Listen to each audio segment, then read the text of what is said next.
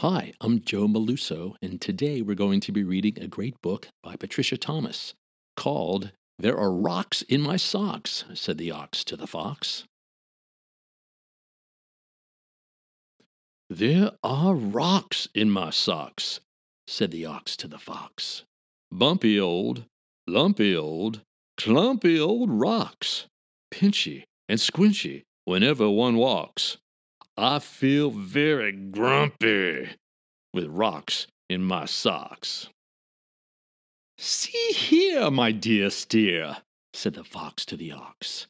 Why don't you stop grumping and take out the rocks? I must say I've noticed the longer one talks, the less time one has for taking out rocks.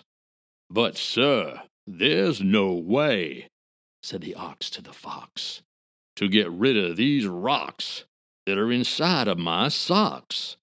With my shoes underneath, my feet firmly on top, I see no way at all of removing them rocks. Let me think, said the fox to the ox with a wink. There must be a way to get rocks out of socks. Eureka! I have it! Just do a flip flop.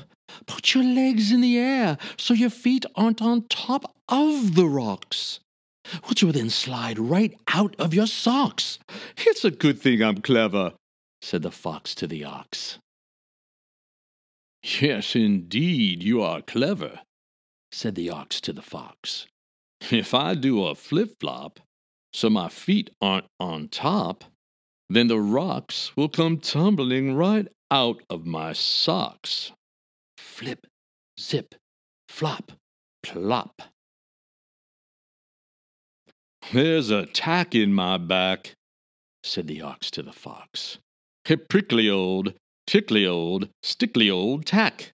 I really don't need this particular tack. If I found it was missing, I'd not wish it back.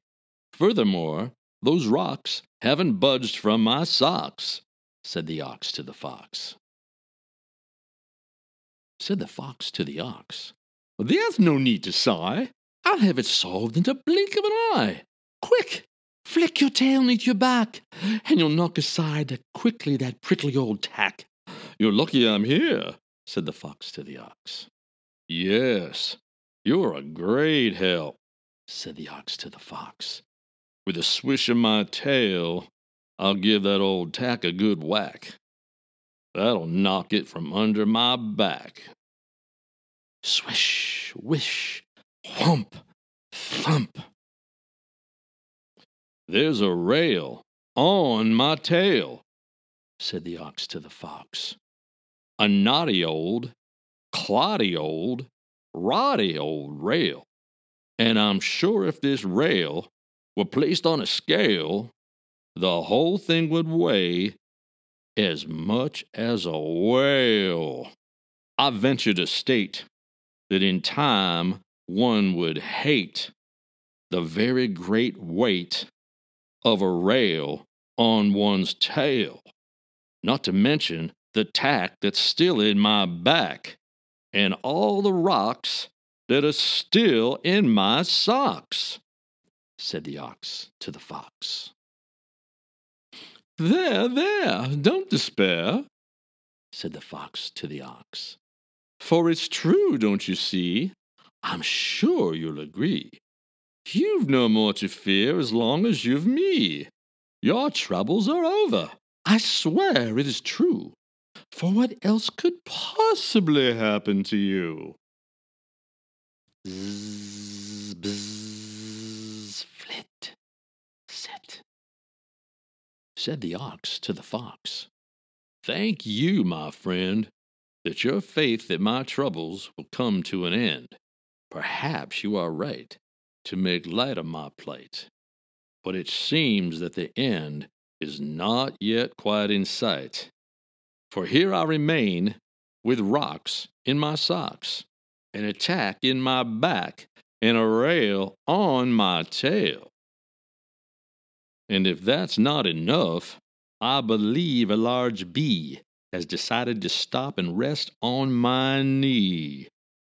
That makes me uneasy, in fact, somewhat queasy, for a large bee is a thing with a very large sting. Said the fox to the ox. Yes, indeed, it does seem to me you'd be better off without that large bee. However, because I'm so clever, I instantly see a way to remove that large bee from your knee. Just be quick. Kick your toes in the air toward your nose, which will shake your knee free of that unwelcome bee. Of course, said the ox. How stupid of me. It's remarkably easy to shake off a bee. Flick, kick, zap, whap, said the ox to the fox. You've observed, I suppose, that I seem to have kicked myself hard in the nose. Meanwhile, the large bee, not choosing to flee, has been startled instead into stinging my knee, which is, I confess, quite unpleasant for me. What's more, with these rocks still stuck in my socks, and the tack in my back, and a rail on my tail, I do believe it is fair to state my situation is less than great. My word, said the bird. My eyes must be blurred. I've never seen anything quite so absurd. A big grown up ox, with his back on a tack, and a rail on his tail, and a bee on his knee, gives his own nose a whack. Please don't go, Mr. Fox. As for you, Mr. Ox, would you care to relate how you got to this state? It's a rather long story, said the ox to the bird. It is hard to explain everything that's occurred. I believe it began with my friend here, the fox, who's an expert at getting rocks out of one's socks. Said the bird to the ox, I really must say, you're going about it in a very strange way. Why not simply roll over? Lift your back off the tack, then slide your tail out from under the rail and straighten your knee which so obviously will set the bee free. Mumble, tumble, roll, bless my soul. Now take off your shoes, then take off your socks.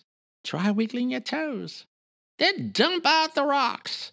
Next, put back each sock, then put back each shoe, which is all, Mr. Ox, that you needed to do.